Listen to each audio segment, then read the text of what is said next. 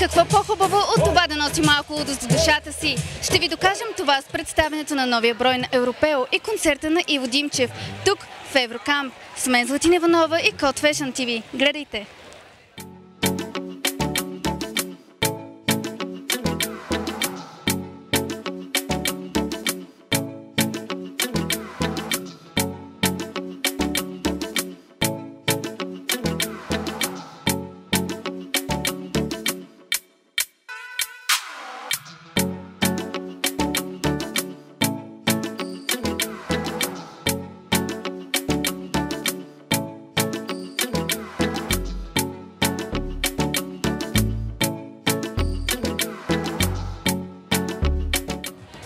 Любо, здравей! Тематичните партита и вечери на Европео продължават. 73-ти брой. Много ми харесва как сте го заглавили Лудост.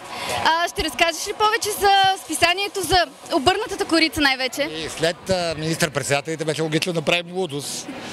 Още повече а, нали, такава ситуация, е леко луда. А иначе това е първото такова на открито парти. Ще има още, между другото. Сега ще ги пазим в тайна. Не само тук, и по морето. А, с следващите броеве и с спешъл едишените. Този брой е много забавен, много интересен. Малко е по... Въпреки, че темата изглежда сякаш а, лековата, също е доста сериозен брой. Много, много сериозни автори са писали, много сериозни интервюта има.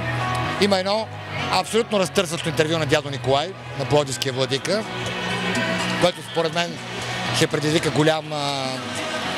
Абе, ще има голям отзвук. Защото наистина е много интересно. Че е много мъдро, е типично в негов стил, доста провокативно и ще така задават и въпроси, на които си търсиш отговори.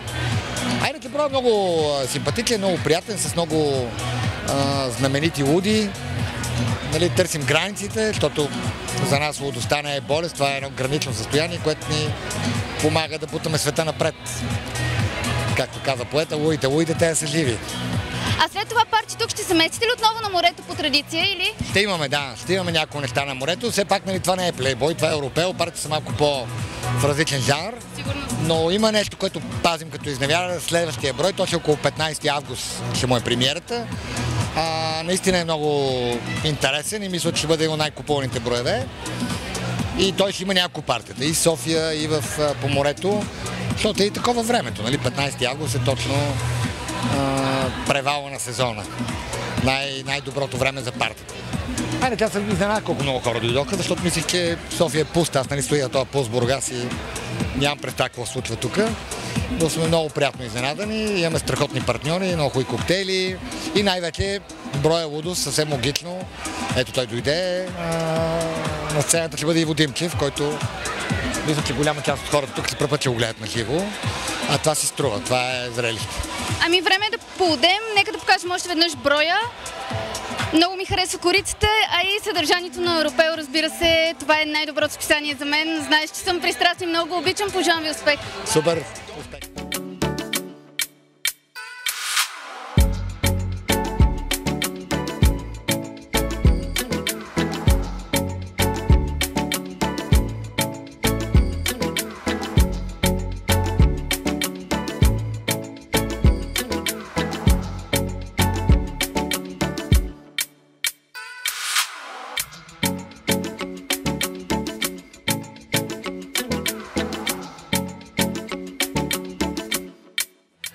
Здравейте, аз съм Иво Димчев, а вие гледате Код Fashion.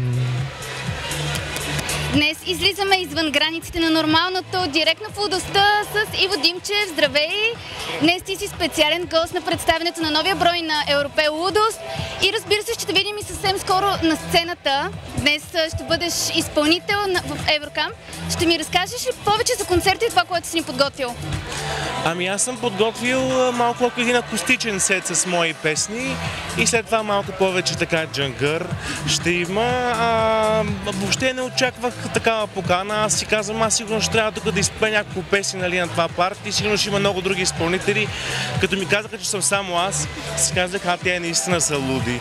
А, обаче аз съм им фен определено, особено на тяхния инстаграм профил. Наистина едни от най-високо естетичните присъствия в българския инстаграм.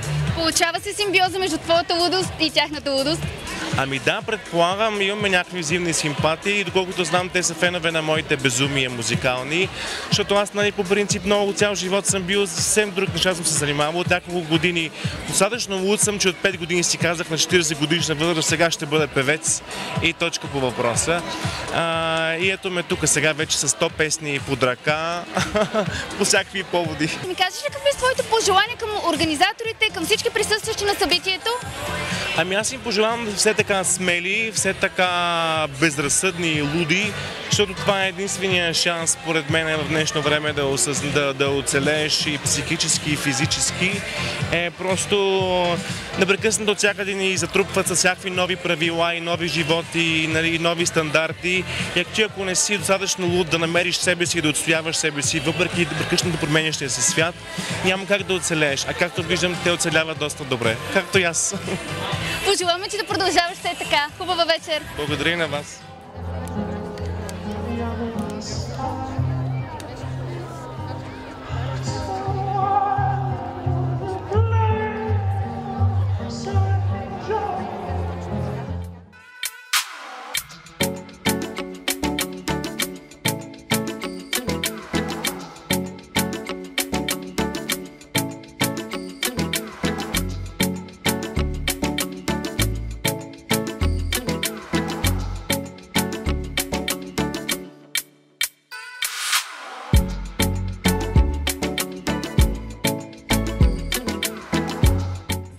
Домакините тази вечер са до мен Борис Гълбов и Алекси Калев. Здравейте!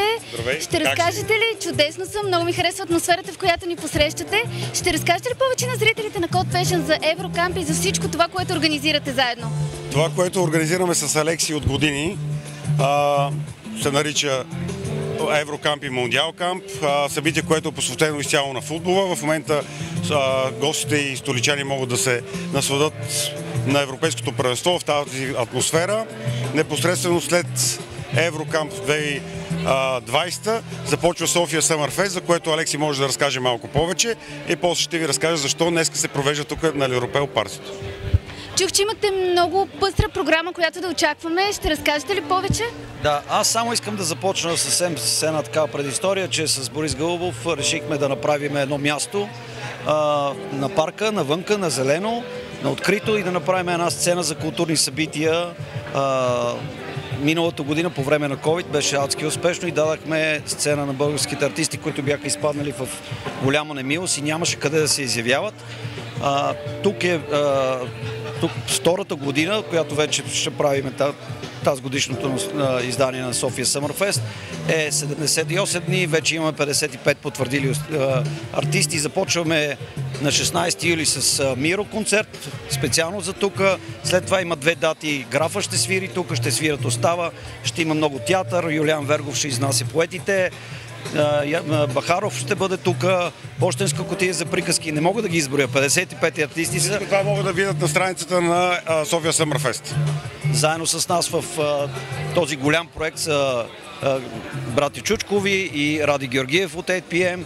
Така че. Точно така, така че тук няколко фестивала, които са традиционно софийски, ще се случат на, нашия, на наш терен. Ще има а, на Фара, където всички рекламни агенции ще бъдат тук. Ще бъде, както каза София Филмфест, на най-отицин фестивала за документално кино ще бъде тук и много-много други събития. Тук сме, ще има 500 шезлонга, ще има просеко и ще има красива обстановка под звездите в центъра на София, зад Хилтън, до Музея Земята и хората. Заповядайте. Всички най-интересни културни събития ще бъдат на едно място. Чак не знам как сте успели с цялата тази подготовка. Звучи адски интересно. Със сигурност с екипа ни ще дойдем отново. А за днес ще разкажеш ли, Боби? Днес ще... Тази, а, днес темата е новия брой на списание Европел с издател Любо Дилов син и мой съдружник. А, решихме да направим едно градинско парти. Темата на броя Лудос. Малко по-късно посетителите на ивента, който е отворен за абсолютно всички, ще се насладят на прекрасния Иво Димчев. А, такива тематични вечери ще има още през София Съмърфест и, до края на Еврокамп 2020. Страхотно. Пожелавам ви една луда вечер и няма търпение да видим изписанието. Благодаря и аз. Всичко добро. Поздрави на Cold Fashion.